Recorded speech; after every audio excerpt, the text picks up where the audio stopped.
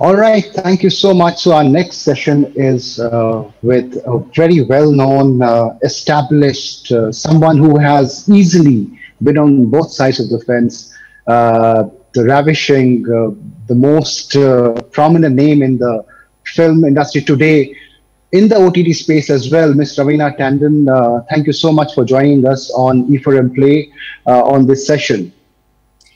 Thank you, Ruhail. It's a pleasure to be here with all of you. Pleasure. So uh, the the discussion would be around you know how you have easily uh, transitioned from traditional cinema to OTT. Give me a sense of was it easy for you to make the shift and then you tasted success as well. Um, how do you see it now? Well, you know, uh, honestly, I don't think it is very, very difficult for an actor to or an artist to make the shift uh, from big screen to the small screen or from the small small screen onto a, a streaming platform because uh, I think every I, I can't speak generically for everybody so I will only speak for myself. I think my love affair is with the camera. So when the camera and the character are given to me in my hand, uh, and and the minute action is said, it's me out there giving my best into that uh, a lens which is ultimately the medium which will be streamed. It could be streamed anywhere. It could be on the big screen. It could be uh, on on on a uh, you know uh, streaming uh, on a platform. It could be on tv for me it is that connect with the audience that matters. As an artist am i giving my best to the character that has been given to me to play? And am i reaching out to my audience? And the way for me to reach out to my audience is through that camera and then ultimately through the medium from what it is going to be streamed ultimately or finally at. And uh, that i think is very important for me as an actor to do is to be in love with my work and try to connect with my audience. Right. Absolutely. I think in love with the camera is what the re- real acting is all about and real performance is all about. You know from the 90s to 2020s uh, when you look back uh, how would you define the shift that we have seen in, in cinema overall? Um, honestly, from the 90s to now, we are in 2022. Uh, there definitely has been a strong ev- evolution, and I think uh, it has only happened for the best uh, to a certain extent, there've always been a certain kind of competition to the big screen, to the cinema, uh, whether it came in the form of DVDs or VCDs or uh, you know uh, different channels opening up on on on television, or then now with the internet streaming that is happening and different platforms that are uh, mushrooming every single day. But I think the the the love for for the big screen and and the magic of cinema will always stay on but the plus point, the advantage that has been is that somehow OTT platforms, uh, uh, including television to a certain extent, has uh, you know opened or broadened our horizons to different kind of uh, cultures, different shows uh, coming from different countries. Uh, and and their traditions and their stories and their way of and their way of storytelling so to be honest in in in the 90s we only had the exposure if we went to uh, film festivals to see an Iranian film or if we had to see a Russian film or a film from China. That is when we would get the opportunity to see these kind of different films. Uh, and different kinds of storytelling. But now everything's at the tip of our finger, you know, everything at the tip of our fingers. And uh, for the audience also, it's been an introduction and exposure and awareness of different kind of filmmaking that is there globally. So it has I think to a certain extent opened out different avenues for a lot of directors, a lot of um, actors who who probably you know have uh, you know uh, wanted to make experimental cinema but somehow could never uh, you know uh, muster up uh, uh, the not not courage exactly but muster up the the opportunities or or going beyond the pressures of the main box office to be able to showcase their talent and their work which now everyone has these great opportunities because every kind of storytelling today has a certain audience. It might be a niche audience but it is out there and you're you're, you're not uh, uh, you know pressurized by okay i only have three hours to put or, or two and a half hours to make this into a movie and show it out. Today you have the platforms that are there streaming this into people's homes and you can uh, uh, you know give them a, a, a different um, uh, you know w- whatever the directors visualized or imagined or what he wanted to give to the audience so i feel in that perspective, our cinema has actually opened up. You know, we've broadened our horizons. We've got uh, uh, amazing amount of talent, new talent. Uh, you know, talent like me who probably was was there, but then we were not getting the kind of opportunity that we wanted to showcase the kind of work that we could do. Uh, and Aranyak today, thank God, uh, God has been really kind, has done wonderfully well.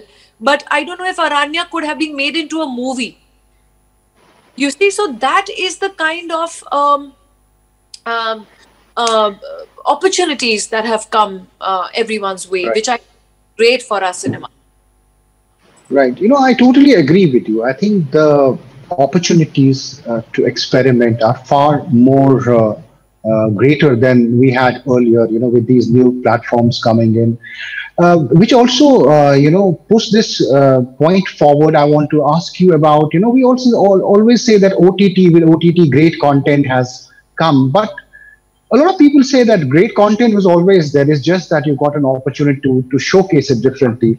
So, what do you have to tell people who say that, you know, today's cinema is more content driven? Well, I, I, I, I think I, kind of agree with that and I kind of disagree with that because we've always had a lot of movies which have had great content. We've had great content even then, we have it now. But I, I think, like I said, uh, every uh, decade, I think you kind of evolve into a different kind of filmmaking. You go into a different zone according to uh, what the audiences want as well. Um, I, I can give you a prime example uh, if you see the film Andaz Apna Apna, at the time uh, it was released, unfortunately, it didn't make the kind of noise that it should have. But today it's a cult film with all the youngsters. So maybe that was a film before time. It's not that we didn't have the content, but it also at the given moment, did the audience accept that kind of comedy? No, they didn't. At that at, at, at that time of period, if I remember very clearly, a lot of films were being made with you know double meaning dialogues and a little bit of buffoonery which was being uh, translated as comedy and those films were working. But when a straight faced you know a simple clean family film with a comedy like andaz apna apna came people were like oh what is this? And then later on it becomes a cult film. So there are times where you want to give that kind of content but sometimes you are kind of you know your hands are tied uh, but I think even then and now we've had great movies and we have some great movies coming up as well even now. There's great cinema and there's great happening. So my question is, you know, in the wake of uh, great content, you know, have face uh, values and acting styles become redundant in any way? Um, Ruhail, if you ask me, I think both to a certain extent just a certain extent, work hand in hand.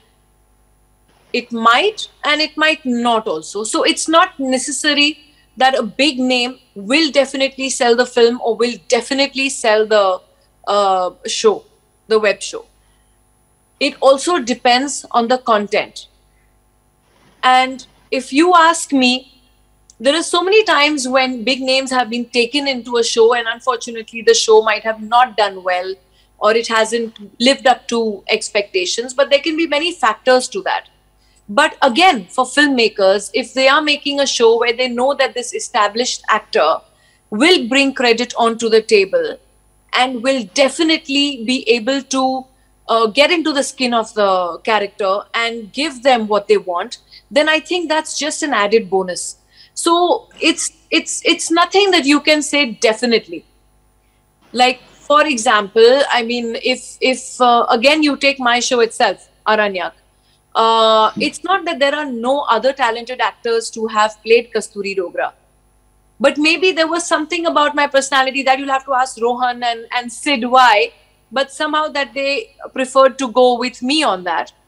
Uh, and then of course there was Param, and then there was Ashutosh So these are these this this was our bunch of you know established actors. Param has proved himself in so many uh, films and shows that he's done, and uh, you know that you've taken him. Half your battle is won for a director, also, it's half your battle is won because you know what he will deliver. Likewise with Ashutosh Ranaji.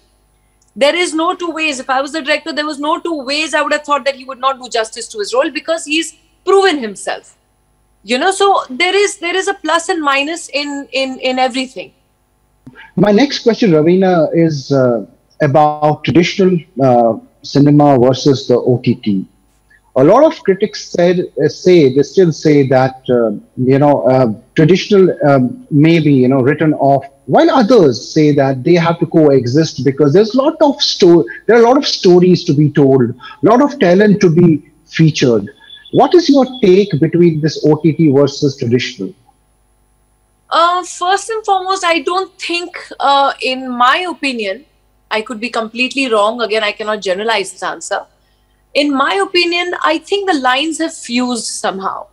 Um, I think even our uh, traditional cinema, as to speak what you call, I think has evolved a lot. We've got great path-breaking breaking stories that are coming out every second day.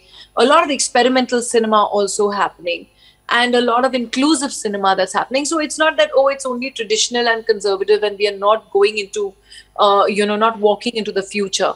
Uh, as far as OTT platforms are concerned, like I said, there is no debate whether OTT platform or cinema. Uh, I think each holds its own.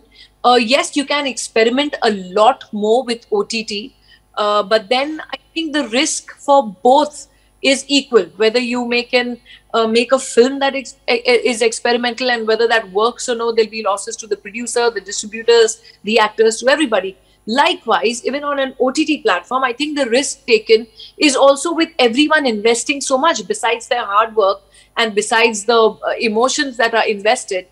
Everyone has invested a certain part of themselves. So even that for not working also can be a chance. But yes, OTT, you just still have that little bit of, uh, uh, you know, especially for the filmmakers, the risk is not there of that box office pressure or of, you know, कौन सा show full हुआ कौन सा show full नहीं हुआ अब collection क्या है? आज का कलेक्शन क्या है? ड्रॉप हुई पिक्चर कि नहीं ड्रॉप हुई? Yes you have a certain viewership for the O T T platform but you always do also find your niche audience तो for me I think when you see the shows that are being stream in in India Uh, a lot of them also are, uh, uh, uh, you know, uh, they're lot that are experimental, but also uh, kind of sticking to uh, you know uh, basically i think country wise which culture and what kind of stories that we like seeing. And likewise i think our uh, film producers and directors are doing the same. And if you really go to see uh, a lot of our production houses uh, from the film industry are making ott shows as well. So for me the lines have fused. There's there's there's no partitions so to speak really. Right. Right. Of course i think a lot of uh, action is happening in that space and things will keep on changing which brings me to my last question followed by some quick uh, ra rapid fire questions that i have. Uh, what do you miss about the 90s uh honestly nothing. And the dance the song and the dance. I think music was great in the 90s. The 90s music was just just uh, even now so relatable. Everyone just wants to you know hear the 90s songs remixed and and back to every party you walk into the the 90s uh, music going on and uh, I mean we had great melodies uh, even at that time. We had some great albums.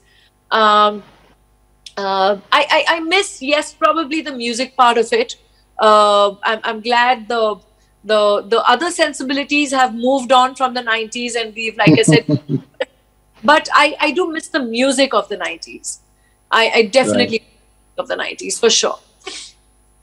Absolutely. And the kind of uh, shelf life uh, and you know the way the songs connected that time it was another different uh, story altogether. Uh, all right. Now we move on to our next uh, conversation uh, which is rapid fire questions. Uh, all set, Raveena, for this? Geared up. Okay. Munna Bhai or Kali Bai of Mirzapur? The lovable Munna Bhai. Aranyak to me is The strength of a woman. Kasturi Dogra. actors looking for work across OTT need to मेहनत करते जाओ अपना time आएगा lovely. Who would you like to do an OTT film with? Sanjay Leela Bhansali Your favorite OTT show is? अरानिया टू टिप टिप बरसा और आंखियों से गोली मारे गर्मियों में टिप टिप बरसा पानी की प्रार्थना है।